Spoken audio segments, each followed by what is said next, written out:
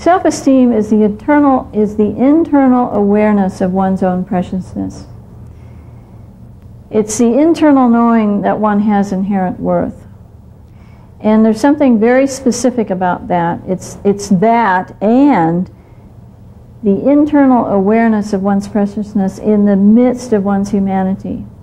What this means is that Self love is about knowing that your humanity does not make you worth less or better than. I have been um, teaching this uh, subject to many, many patients over the years. I have been working hard on it myself. I have spent lots of time thinking about this subject and trying to get people to understand this concept. And you know what? Of all the things I've taught, of all the lectures I've given, this particular subject baffles people. One of the ways I get their attention is to tell them this that when it comes to self esteem or self love, you're either doing it or you're not doing it. What I mean by that, I'll, I'll, bring up something that happened years ago that really got my attention. I was, I was doing a uh, I was training a bunch of therapists in Texas one time, and I I uh, spent a lot of time with them. In, in this, I think the subject was self-esteem anyway. And it it came time for me to leave. I had to catch an airplane, so I really had to leave. And this lady raised her hand and she said, "Oh, Pia, just just one more thing I want to ask you." I said, "Well, what is it?" And she said, "Well, I want to know how I can raise my client's sense of esteem." And I said to her, if you are in that concept, if you are believing you can raise it like the thing goes up and down, you really don't understand the nature of self esteem. It either is in existence or it isn't. You either are valuing yourself or you're not. It cannot be raised up and down. It's a constant. And it's, it's about keeping in your mind, about being mindful that when you landed on the planet, when you were born, you came into the world, you came onto the planet with all the value you needed. And that value is equal to anybody else's value. One of the things about it, oh, I guess two things that I would mention right now, and, and that is um, if you look around and you look at other people, one of the things that you see is that we're different. No, no, matter what you're doing, look at anybody, you'll notice that we're all different. We think differently, we dress differently, we look differently, we have different levels of intelligence, different levels of beauty, uh, different levels of gifts, um, all kinds of things. We're all very, very different. And one of the keys to understanding self esteem is that those differences never affect one's inherent worth. They're, they're just differences. In my own personal growth around this issue, one of the things I've learned is that as I look at others and I notice all these differences between me and, and them, that I have learned to look at the difference and do two things with it if it's something that's really remarkable to me. What I do is I use the difference to learn something or I look at that difference and appreciate whatever it is about them that's really remarkable instead of using it to make myself feel worthless. I think that that is probably one of the indicators that, uh, that a person is a pretty healthy person when instead of using differences to make themselves feel better than or less than, uh, one simply observes and appreciates and learns from instead of making it just a huge issue.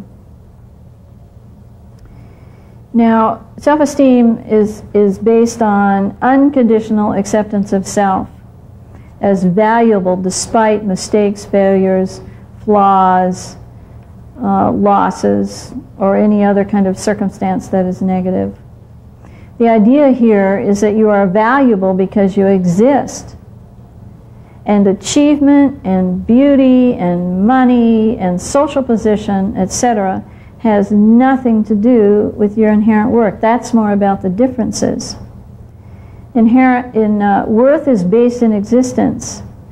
Um, and, and what I've been saying is that having a sense of value has to do with whether you're paying attention or in the knowing that it that you have it, that it's there. Now, one thing I want to note uh, here, and I read it in Matthew McKay's book, Self Esteem, and by the way, that book is an excellent book um, to read because he, he makes many very, very important points about it, and he has lots of other information about it, so I recommend you read it.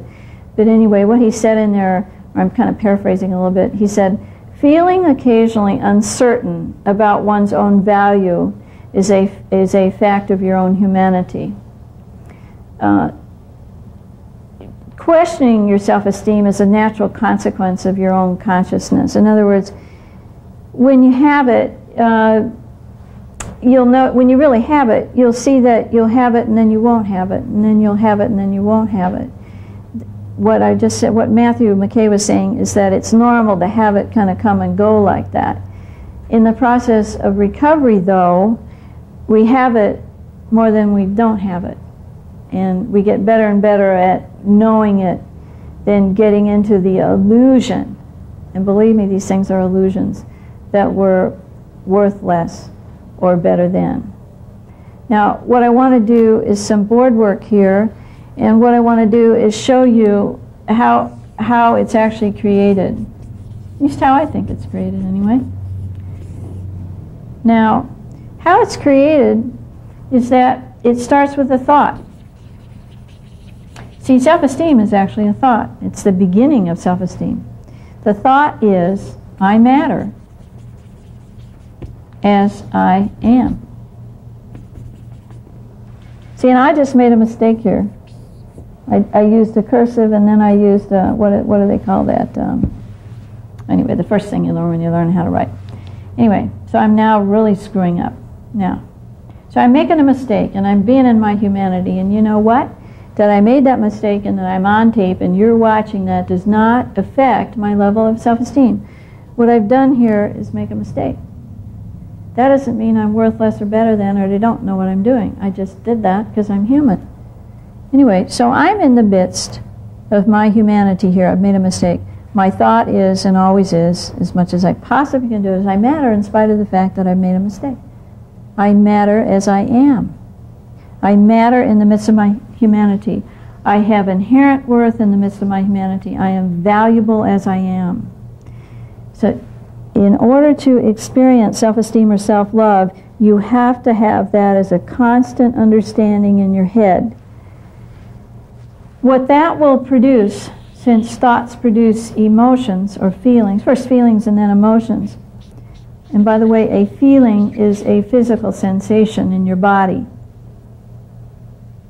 The physical sensation of, of self esteem or self love is warmth and swelling in your heart. Interesting, huh? Warmth and swelling in your heart. You know, you know, um, probably warmth is a word that that you want to remember here. I know that probably all of you at one time or another felt warmth for another person, or you might say you felt compassion for another person you felt a heart connection to another person. You felt your heart opening in warmth to another person. That's the physical sensation of knowing that another person mattered as they as they exist. Anyway, the physical sensation of love, the feeling of love is warmth and swelling in your heart area. Now, your brain will then tell you that that is self-love or self-esteem which in self-love or self-esteem is the emotion or the word, the emotional word we use to describe this physical sensation. And then what happens is that thought combined with the sensation drives one be one's behavior. So one's behavior then would reflect that you either love yourself or you love another human being.